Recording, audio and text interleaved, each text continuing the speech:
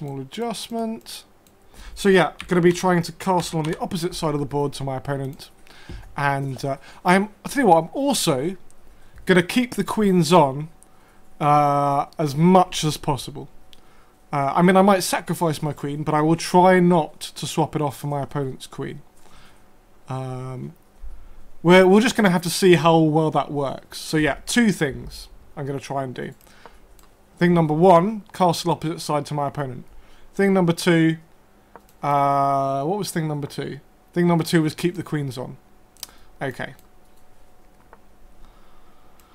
Um, gonna try a Stonewall Dutch because I think maybe that's the uh, the best opening for me to keep the queens on, uh, and also to castle queenside.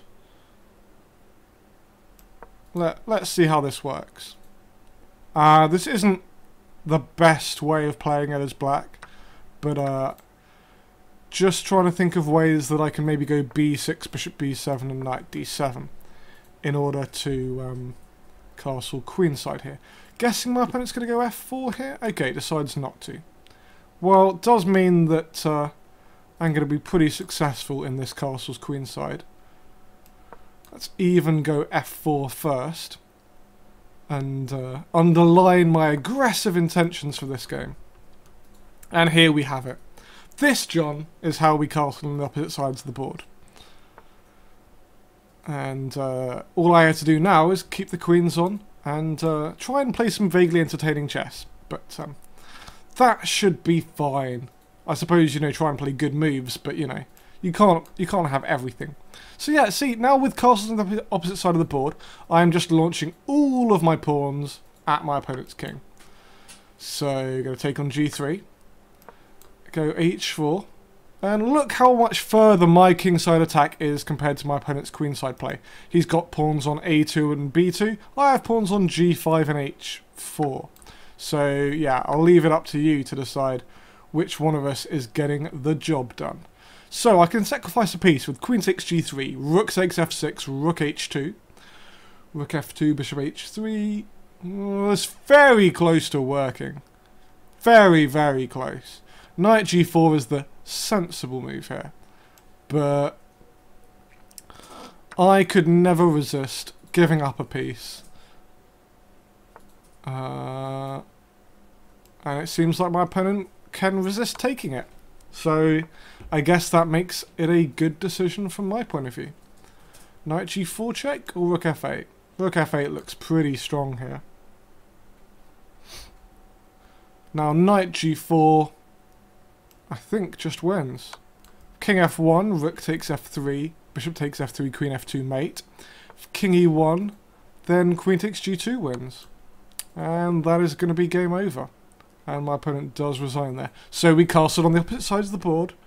And number two, we kept the queens on the board all the way to the end. Let us see if we can manage this all the way past 9.30. Got at least another 20 minutes left, perhaps potentially a little bit more. Um, okay, one c4. Going to move some queenside pieces. Give myself the option of castling on either side of the board. Uh, and because you know you can normally work on the assumption that your opponent is uh, going to castle um, king's side, so I'm leaning towards uh, developing all of my pieces on the... Um, well, I seem to have lost the ability to speak, which is slightly irritating. Uh, yeah, so I'm leaning towards castling queenside. But of course my opponent could still move this bishop and then go queenside himself. Uh, let's go bishop e2, keep these options open. I don't like the way I'm playing this game actually e4 is quite a good move for my opponent at some point, perhaps. Go d3.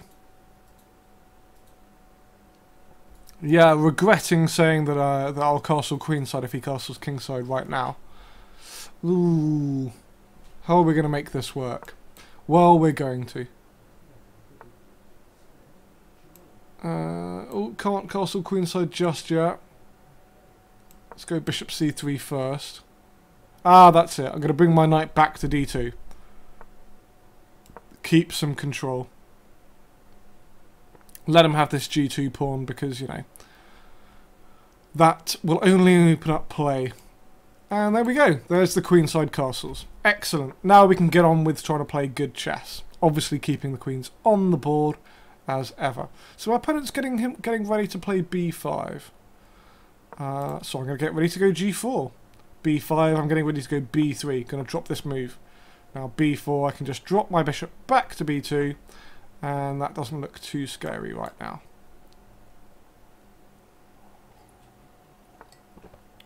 So, hey ho. Hmm. Knight d5, that's quite a good move. Bishop a5. Don't want his knight coming into b4 and causing havoc. So, didn't really want to... I didn't like lines like bishop b2, knight b4, queen b1, queen c6. Ooh, that would be painful. Um, so yeah, steering clear of anything like that. He can take on e3 here. I was kind of hoping knight c5 would get me somewhere. But not, not sure where I'm going just yet with this.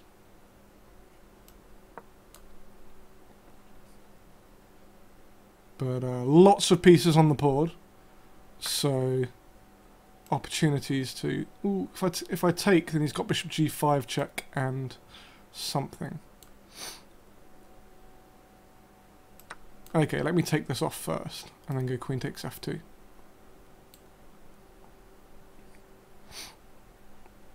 This feels okay, but I don't like the fact that my queen and bishop are opposite the rook on f8, especially with him having bishop g5 check. So, going to take my king off that diagonal, and then put the queen on c5. 3-5, pawn down. Well, we could exchange queens. But uh, no, that's not in the spirit. Bishop g5 maybe, queen b2, knight f4, simply being rooks to the centre. How are we going to create counterplay here? Certainly my mating attack hasn't really come to fruition just yet.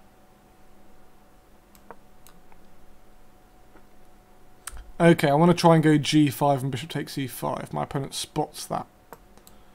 So, I'll go queen b2 to increase the pressure on e5. And he spots it. Playing pretty well. Just going to have to take it off and play g5. Bishop takes g5, bishop takes e5. Then I can make use of the g file, finally. Oh wow, he flicks in this. That's a really impressive move, actually.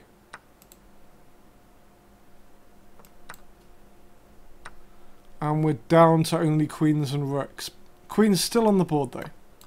Let's make use of the G-file. Both of us down to less than a minute on the clock. 41 seconds, please. 46. Um, but yeah, the extra pawn that my opponent has here is just the most important point in the position. He offers me a draw. Not interested. Nope. Queen, keep it in the centre. Uh, not certain where my play is. I'm trying to get some kind of rook g6 to work. But uh, it's obviously going to be very risky. Okay, g5, h4. Not sure I like this from my opponent's point of view. Uh, okay, queen g4, hit the rook on c8. And then queen h5.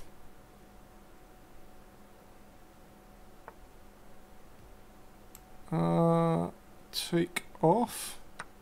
I might get mated after queen takes d3, but you know, hopefully not.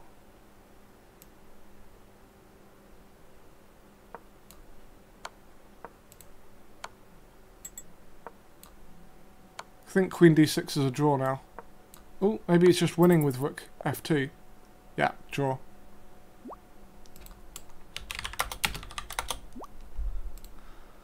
Gonna give my opponent a rematch. So that's the first half point drop of the night. Congratulations to EN John Peter 101. Um, how are we going to keep the options open for our castling in the second game? Well, let's try a kind of standard opening. And again, prioritize queenside development. Yeah, and it's going to work this time round. Queen to c7. Castle's queenside, and here we have our standard setup. Ooh, that wasn't a very good move. Maybe. Take some... Nah, who cares? Uh, is he going to go d5 here? He is. Well... This kind of reminds me of a King's Indian a little bit. With the... Except that's not opposite sides castles at all, is it? But something about the pawn structure is kind of King's Indian-y. So I want to try and bring this knight to f4, play f5. I need to relocate this bishop, which is pretty useless on b7. Maybe it can come back to c8.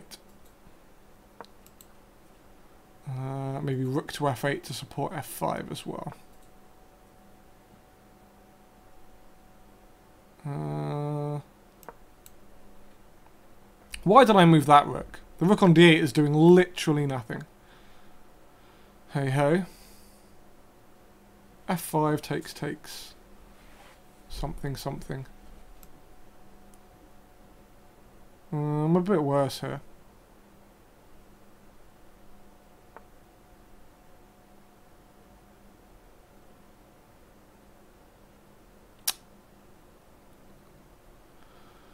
Not liking my position all that much here.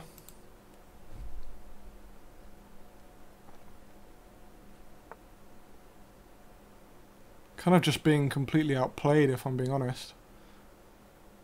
Uh, need counterplay on the queen side. Problem is he's going to play knight takes a5 and then bring the knight into c6. So I have no choice but to to complicate things as quickly as I possibly can. But this half-open uh, A-file should be decisive in my opponent's advantage, if I'm being completely honest here. But um, it's kind of bad because I've said I'm not going to swap the queens off. And boy, do I want the queens off the board in this position. Man, knight c6 is just going to kill me. I mean, Oh, my opponent offers me another draw. I mean, no. I'm not... I'm not taking draws. Uh, I'm quite happy to go down in flames. But, uh... But, yeah. Better to go down in flames in, a, in this kind of thing than uh, with a whimper. So... Important for me to try and keep counterplay if I can. But, uh, That being said, I do need to swap off a pair of rooks because it's just evil the amount of pressure he has against my king here. Uh, knight back to f6, bring that into the game. Still fighting on, fighting bravely. So rook a1 I'm meeting with rook b1. Ooh, when I drop in exchange. Uh, I should have seen that coming. But we will fight bravely on. We will fight, fight, fight. Um, not not sure what else we'll do, but we'll we'll carry on fighting. Uh, okay, maybe put the knight on g4 and then e5 if necessary. Okay, he's not after that. Um, I get the feeling my opponent might not be interested in a draw anymore. It's just a feeling.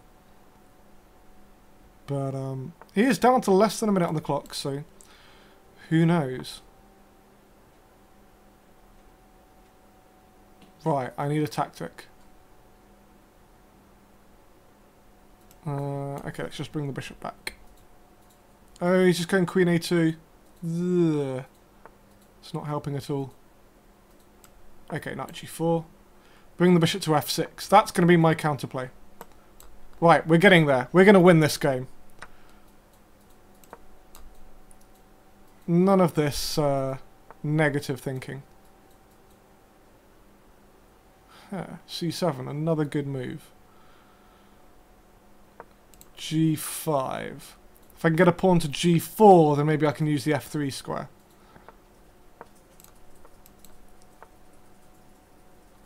Uh, that's an exchange back at least. Rook to b2, counterplay. That pawn on c7, kind of giving me one or two issues. Uh, but I should probably just bring that back to defend.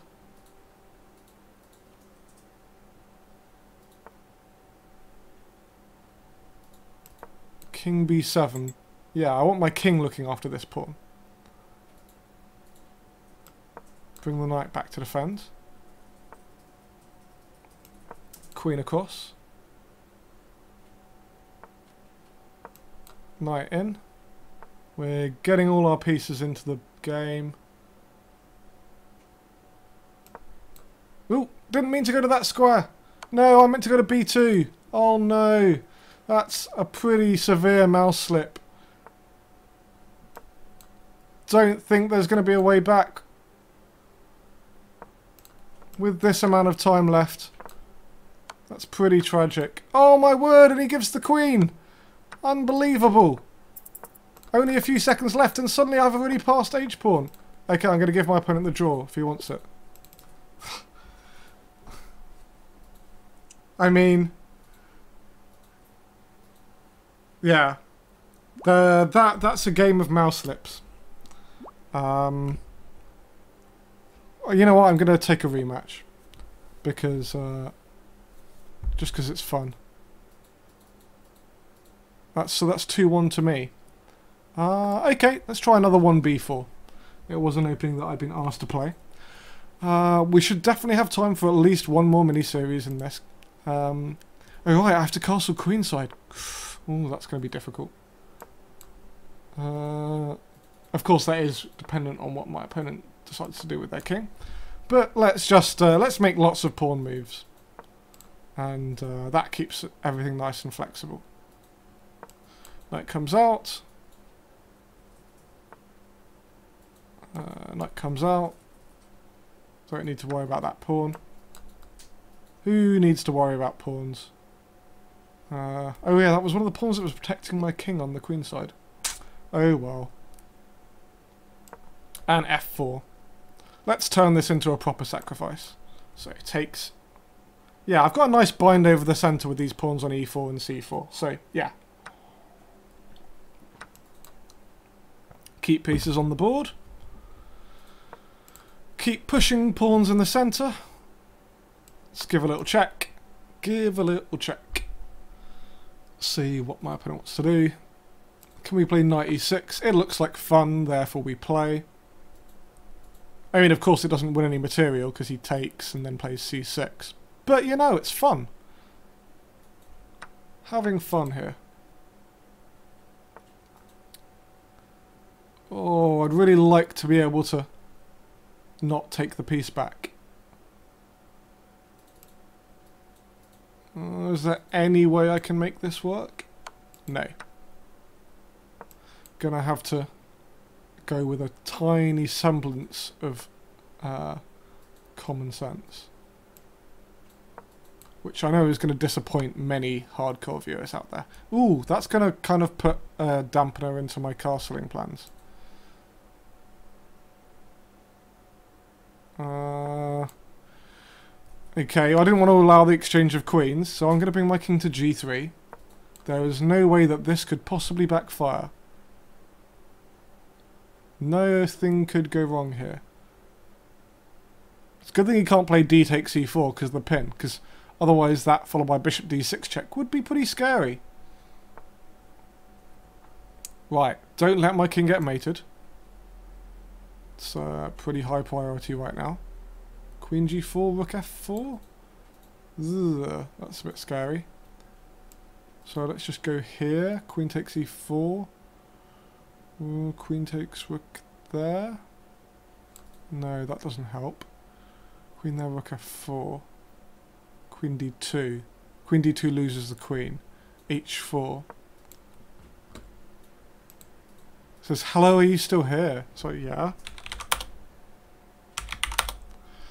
Uh, okay. Well, my king hasn't got mated. Yeah, he was just checking to see whether or not he was liking. Okay. Uh, right. What now? Rook F1? I really want that knight to go away. So yeah, apologies for not castling queenside in this game, but hopefully my king has provided some source of entertainment anyway. Queen comes out to g4. Uh, how are we now going to actually come back and attack in this game? Well, what I want to do is bring the bishop back to c2 and then target h7 as his weak point. Uh, he seems to be targeting uh, d4, but d4 is not as important as h7 because h7 is right next to my opponent's king. Ooh, g6 is an interesting move here. Bishop takes g6, rook g8, rook f6. Do I have any idea what's going on in that position? Basically, no. Gonna go for this because it looks fun. Um, yeah, this is just going to be really fun. He could take on d4 here if he wants. Rook f7 would have been a huge mistake, by the way, because queen takes f7. Need to bring this other rook into the game. Rook af1 first. Ooh, knight f8. I mean, that's just a really good move, isn't it? My opponent is pretty good on these good moves today. Maybe he's going to equalise it at 2 all. But somehow I think with the amount of time he's got left to defend and the amount of pressure I've got on his king, imagine if I could get this diagonal opened up for the bishop. That that would be uh, pretty juicy. But I think that's going to be difficult. I need to maybe get the bishop to a3 or in via c1 and h6 or c1 and g5. c1 and g5 is feeling like the route to me. Hmm. My opponent goes for a little cheapo. Pins the pawn on e5, threatens queen takes. Now bishop a3, threatening to get rid of the uh, knight on f8. My opponent is down to only 13 seconds left. And here go his pieces as he kind of desperados his way through. And with less than 10 seconds left, that is going to be it. Game over. Finny.